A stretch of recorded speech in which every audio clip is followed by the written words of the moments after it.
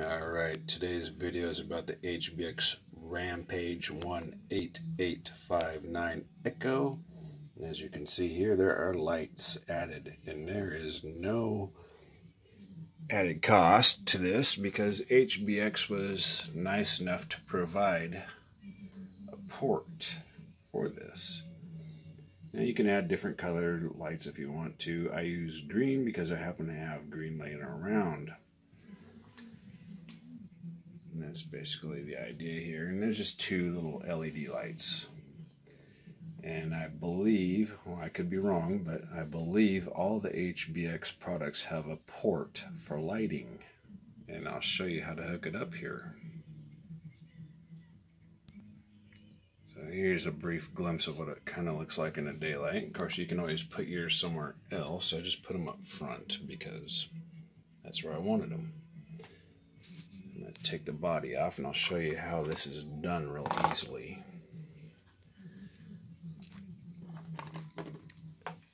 Let's see if we can move this over here.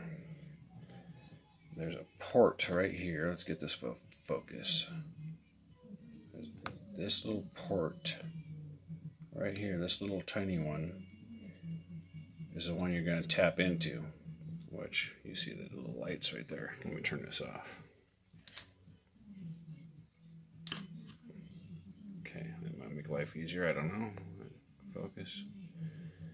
So this connector is fairly common in a lot of drones and some uh, Bluetooth stereos and speaker connections and small portable devices and so I don't know next time you take something apart this little connector just test it and see if it fits in there properly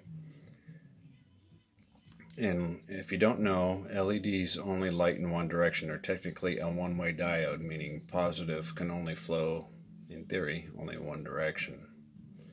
But I have these wired in series, so that kind of baffles my mind how that works. And the reason why I have these wired in series is because these are probably only 1.5 volts maybe.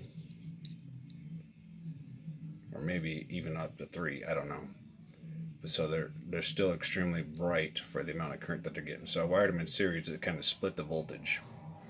And here's a little diagram how that's done. So you got your connector, which is here, little connector. You're going to take the positive lead to the positive side of your LED, run it through. Take your negative lead, run it into the positive lead of your other LED. And then the negative side of the LED, you're going to run it back to your connector.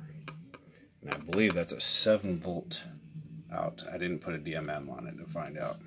Fucking focus, man. But anyway, that's how that's done. It's real easy. It's It technically didn't cost me anything. And here's uh, the battery tray. If you've watched the first video, this is the expanded battery tray. All I've basically done is put a little couple of screws right there, a little washer up here So it just kind of holds the rubber band in place. And it's, you know, there's still room to get a little bit larger battery in there, but it doesn't change the CG that much. It really doesn't.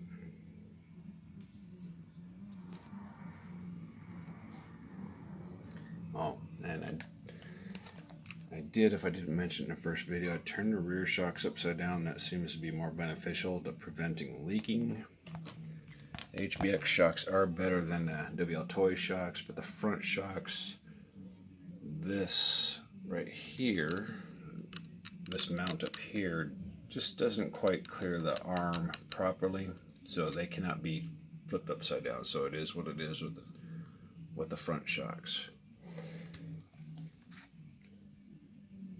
And in case you're first time watching this, these are wheels and tires at the WL Toys A979, A979B monster truck. That helps you give it a little more top speed, but reduces your low end acceleration.